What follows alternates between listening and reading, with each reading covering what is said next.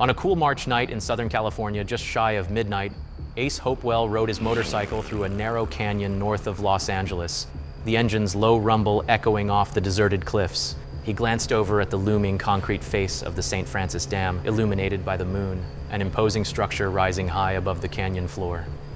As he passed the dam, something about the stillness made him uneasy. But having traveled this route countless times before, he pressed on without giving it a second thought. Suddenly, a deep roar reverberated through the cliffs. Jolting to a stop, Ace swung his leg off the bike, set the kickstand, and stood quietly, trying to make out where the distant rumbling was coming from. Lighting a cigarette, he scanned the steep hills for falling rocks, dust clouds, anything that could indicate a landslide common to the mountainous terrain. The darkness revealed nothing except the faint smell of disturbed earth and an even fainter sound of rushing water. Assuming he was out of harm's way and that the noise was from a landslide elsewhere, Ace felt relieved. Still, something didn't sit right with him. As restlessness crept over him again, he flicked the cigarette away and continued on, oblivious to the dire reality unfolding behind him. Moments after Ace passed by, water began surging over the top of the weakened dam, tearing cracks wider with each surge. Chunks of concrete broke free, collapsing down the dam's facade and littering the valley floor below. Soon, the full weight of the dam gave way, crashing downward and unleashing a rising, unstoppable flood barreling toward thousands of unsuspecting, often sleeping families below.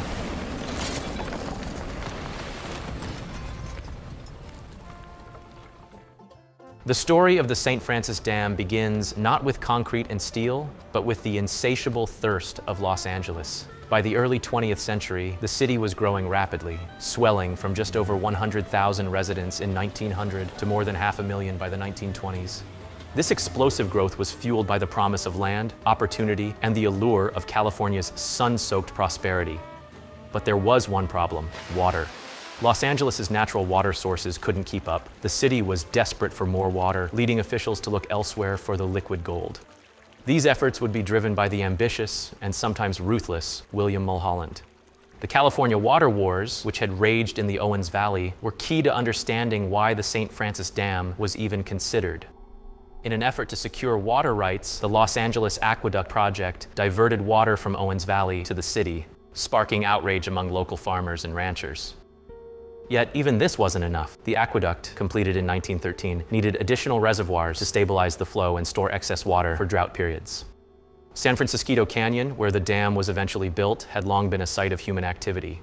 The canyon, carved by the San Francisquito Creek through the Sierra Pelona Mountains, had been part of key travel routes for centuries. Spanish missionaries, Mexican Californios, and gold miners had all left their mark on the area, by the 19th century, it served as part of the El Camino Viejo, an important route between Los Angeles and the San Joaquin Valley. The canyon's rugged beauty and strategic location made it an ideal candidate for a large reservoir. Mulholland first considered the site during the construction of the aqueduct, believing that a reservoir here could safeguard Los Angeles's water supply in case of drought or damage to the aqueduct. The narrowing of the canyon downstream and the wider upstream platform seemed perfect for a dam. The site was chosen not just for its topography, but also because the land was federally owned and inexpensive compared to other potential sites like Big Tujunga Canyon. Construction on the St. Francis Dam began in 1924 with little public attention, in part to avoid sabotage by Owens Valley residents still bitter over the aqueduct. The dam was modeled after the Mulholland Dam, completed just a year earlier with modifications to suit the new site. Built as a gravity arch dam, it stood 200 feet high at completion. However, Mulholland's experience in concrete dam construction was limited, being a self-taught civil engineer. And despite geological concerns, construction pressed forward under his supervision. Geological tests conducted before construction revealed differences in rock formations. The western hillside was made of relatively stable conglomerate and sandstone, but the eastern abutment consisted of schist, a softer laminated rock prone to faulting. Mulholland acknowledged these concerns in 1911, but ultimately dismissed them, relying on his belief that the dam's weight and design would ensure stability.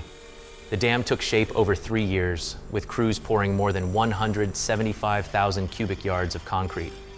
As construction progressed, the dam's height was raised several times, ultimately reaching 185 feet above the canyon floor. This expansion required the addition of a wing dike to contain the reservoir's growing capacity, by May 1926, the dam was complete, capable of holding 12 billion gallons of water.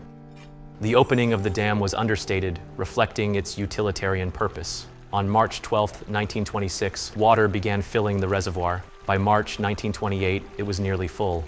As the second largest reservoir in the Los Angeles aqueduct system, the St. Francis Dam significantly increased the city's water storage capacity. Power generation at the site soon followed, helping to fuel the city's rapid expansion. At first glance, the dam appeared to be another triumph of engineering, standing as a silent guardian over the lifeblood of Los Angeles. The St. Francis Dam held back billions of gallons of water, creating a critical reservoir for the growing city. From the moment water began filling the reservoir on March 12, 1926, the structure began showing troubling signs. Cracks emerged almost immediately, spreading across the face of the dam as the reservoir rose. Initially dismissed as normal settling, these fissures deepened over time. Workers patched and monitored the leaks, but by late 1928, landslides near the eastern abutment raised further concerns. Still, officials remained confident. The dam had survived its first full reservoir test, and that was enough to quiet concerns. Throughout its short service life, notable incidents hinted at the dam's instability. Vertical cracks stretching from the top of the structure to its base were identified and inspected by William Mulholland and his team. Although Mulholland judged them to be typical of large concrete dams, seepage from the western abutment near the San Francisquito fault line persisted. Workers attempted to seal the leak, but water continued to trickle through the face of the dam. In April 1927, the reservoir level rose to within 10 feet of the spillway, and by May, it sat within three feet of overflowing. Mulholland, however, remained unconcerned, famously calling the dam the driest he had ever built. By February 1928, the water level had reached just a foot below the spillway. Seepage increased, and new cracks appeared in the dam's wing dike. Near the end of February, a significant leak developed at the base of the west abutment, discharging roughly 4.5 gallons of water per second. When the leak doubled in size, Mulholland ordered an 8-inch concrete drain pipe installed to direct the flow. Despite the alarming sight of water cascading down the dam's abutment, Mulholland continued to insist the structure was safe. On March 7, 1928, with the reservoir three inches below the spillway, Mulholland ordered no further water to be added to the St. Francis Dam. Five days later, dam keeper Tony Harnischfeger discovered another new leak at the west abutment. Concerned by the muddy appearance of the water, an indication that the foundation might be eroding, he alerted Mulholland. After an inspection, Mulholland and his assistant, Harvey Van Norman, determined that the discoloration came from loose soil disturbed by a nearby road and concluded that the dam was secure. Only hours later, disaster struck. At 11.57 p.m. on March 12, 1928, the St. Francis Dam catastrophically failed. There were no surviving eyewitnesses to the collapse itself, but at least five people had passed the dam within an hour of its destruction without noticing anything unusual.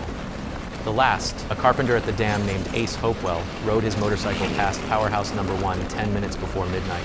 Hearing a low rumbling sound from the hills, he stopped to investigate but saw nothing amiss. By the time he left, the dam had already begun to fail behind him. A sharp voltage drop at 11.57 p.m. signaled the collapse. Seconds later, a wall of water exploded from the reservoir, sending a flood wave more than 120 feet high surging down San Francisquito Canyon at 18 miles per hour. Entire settlements were swept away in seconds. Powerhouse number two, one of the first structures in the flood's path, was obliterated along with 64 of the 67 workers and their families who lived nearby. The flood would continue west, following the Santa Clara River Valley and devastating multiple towns along the way. As 12.4 billion gallons of water began surging downstream, entire communities were in the path of total disaster, hundreds of people unaware of the rapidly approaching demise. The initial response was chaotic. At 11.57 p.m., a transformer station near the dam failed, cutting power to parts of Los Angeles. It took nearly an hour before dam keeper Tony Harnischfeger was confirmed missing, and the full scale of the disaster began to sink in. The dam's failure sent a wall of water, mud, trees, and boulders rising up to 150 feet, crashing down the San Francisquito Canyon into the Santa Clara River Valley, clearing a two-mile wide swath of land 70 miles long, and eventually emptying into the Pacific Ocean near Oxnard, nearly 54 miles downstream. For those living within the first 18 miles of the dam, any warning or potential evacuations were just not possible. However, downstream communities benefited from heroic efforts that saved many lives. Night operators at power and telephone utilities remained on duty, notifying communities further down the flood's path of the incoming danger. Local police and fire personnel quickly mobilized, racing up and down the valley to alert residents. Neighbors helped spread the word, and individual acts of courage were common. In one town, over 100 residents gathered on a bridge to witness the flood, only to be hurried off by police moments before the structure was obliterated. Despite the lack of a coordinated response plan, first responders and telephone operators demonstrated remarkable bravery and initiative. Still, many communities were left in darkness, unsure of where to go or how to escape. In the aftermath, once the floodwaters began to recede, makeshift morgues were set up along the flood path as search and rescue efforts began. Survivors clung to debris pulled from trees and rooftops, while emergency workers and volunteers combed through the wreckage for days. Despite efforts, many bodies were never recovered, lost to the Pacific Ocean. The final death toll is estimated to exceed 431, making it the second deadliest disaster in California's history, surpassed only by the 1906 San Francisco earthquake. The flood also left hundreds more homeless, destroyed 900 houses, and swept away 24,000 acres of farmland. The investigation that followed was swift and expansive. With unprecedented speed, eight investigations began by the weekend following the collapse, with at least a dozen in total. Governor Clement Young appointed renowned dam engineer John Wiley to lead one of the most prominent inquiries. Other notable investigations were carried out by the Los Angeles City Council, the County Coroner's Office, and the District Attorney.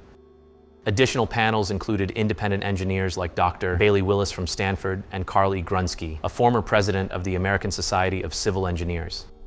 The Santa Clara River Protective Association and the Los Angeles County Board of Supervisors would also launch separate inquiries into what happened. The Governor's Commission met on March 19th and released their findings on March 24th, just 11 days after the disaster. They concluded that the dam's foundation rested on unstable rock formations that had been overlooked during construction. The western abutment, in particular, sat atop a reddish conglomerate that softened when saturated with water, leading to the collapse the Commission stated, the ultimate failure of this dam was inevitable unless water could have been kept from reaching the foundation. Although William Mulholland accepted full responsibility, he was cleared of criminal wrongdoing. However, his career effectively ended in the wake of the disaster. The coroner's inquest also pointed to critical engineering oversights, with the jury recommending that no single engineer should bear sole responsibility for major dam projects in the future. The collapse had national implications. At the time, Congress was deliberating the Swing-Johnson bill, which aimed to fund the construction of the Hoover Dam. Concerns about dam safety threatened to derail the bill, but it ultimately passed and was signed into law by President Calvin Coolidge in December 1928. Diverging theories emerged during the investigations. While most commissions agreed the failure originated at the western abutment, Others, including Willis and Grunsky, believed the eastern abutment played a role. Willis highlighted evidence of an old landslide beneath the eastern section, which may have contributed to the collapse. Grunsky suggested that hydrostatic uplift destabilized the dam's base, exacerbating its structural vulnerabilities.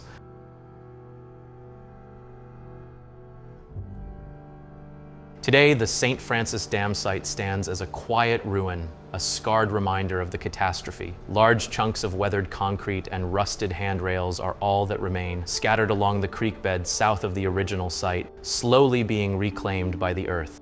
The area is registered as California Historical Landmark number 919, marked by a plaque near San Francisquito Canyon Road. In 2019, the John D. Dingell Junior Conservation Management and Recreation Act established the St. Francis Dam Disaster National Monument, preserving 353 acres of land.